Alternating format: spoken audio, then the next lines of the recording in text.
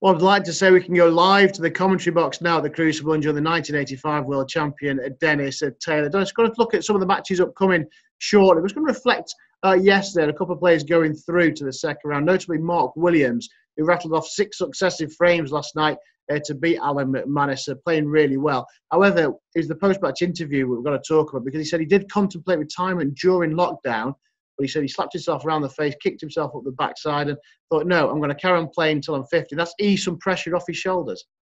Yeah, well, he loves the game too much to retire. Uh, you don't want to be retiring too early. Uh, I mean, he's still playing some unbelievable snooker. I thought he was going to have a tough one against Alan McManus. Alan coming through the qualifiers uh, in uh, quite a bit of glory and was playing really well and started off well against Mark. But Mark to, to, to rattle off six frames against someone like Alan McManus just shows you the class of the player. And uh, you don't become three times uh, world champion uh, without having an awful lot of class. And uh, yeah, there's uh, plenty more to come from Mark Williams, but it's getting tougher and tougher uh, with with each year going by. But listen, he, he, he took 15 years to come back and win his third world title, so he's still in there battling away as Mark. And just a word on Ding Junhui as well. Obviously, he never won a world title. One of the best players never to have won it so far.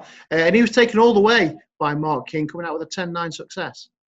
Yeah, it looked as if he was going to go out because Mark was in uh, the final frame and had a chance and uh, just ran slightly out of position. Otherwise, uh, Ding could have been out of this year's World Championship. But an awful lot of support for Ding Junhui. Uh, we're still looking for the first Asian player to lift the Betfred World Championship yeah, there's a lot of great young Chinese players coming through, uh, and uh, Ding's still the main one though. So uh, he's come close on a number of occasions. So it'll be interesting to see how he uh, develops this year. But a great win against Mark King, who pushed him so hard all the way.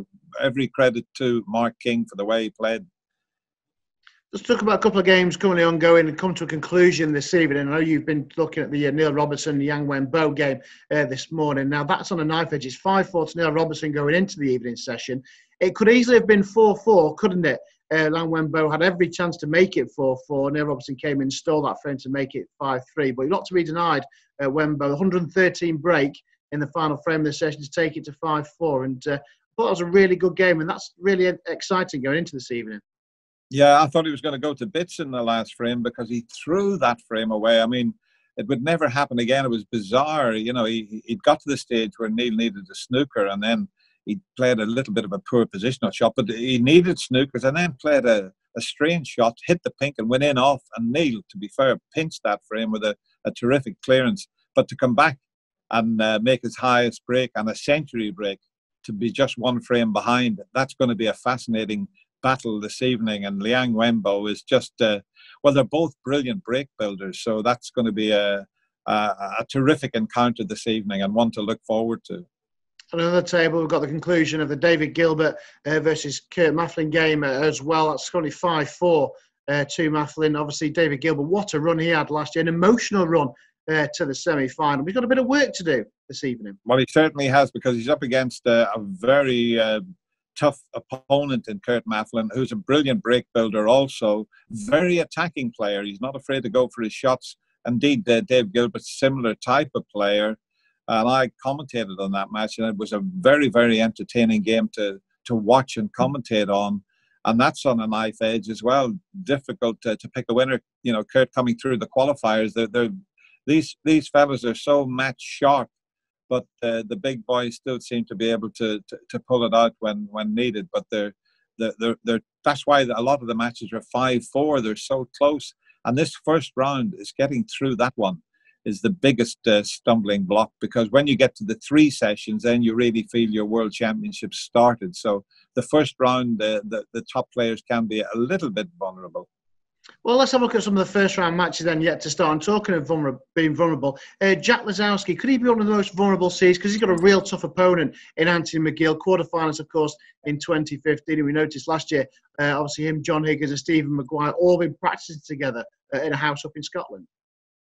Yeah, they've been putting an awful lot of work in, and uh, it showed the way John Higgins started his match as well. So uh, Anthony's going to be a tough opponent, but uh, Jack Lisowski is a player I love watching. he's a, he practices a lot and he's great friends with Judd Trump and he plays the game similar to Judd Trump.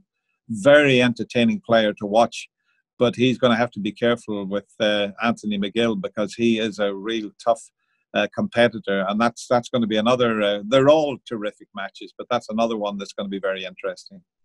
Yeah, obviously Shaun Murphy, yeah, the magician, gets his campaign underway uh, on Monday as well. Winner in uh, 2005, runner-up twice in 09 and 2015. A couple of wins on tour already uh, this year. It's going to be, I think, it's going to be an emotional journey to the Crucible for the magician this year, isn't it?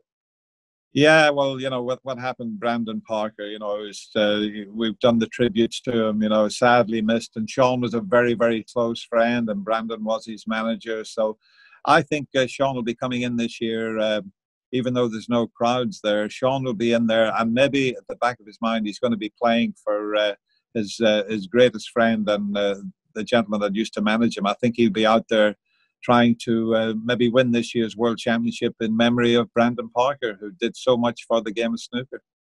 He's got a tough first round game as well against uh, Noppon Saengkham, but um, obviously, would you expect him to come through that? And obviously, is he, be thinking of doing it for Brandon this year?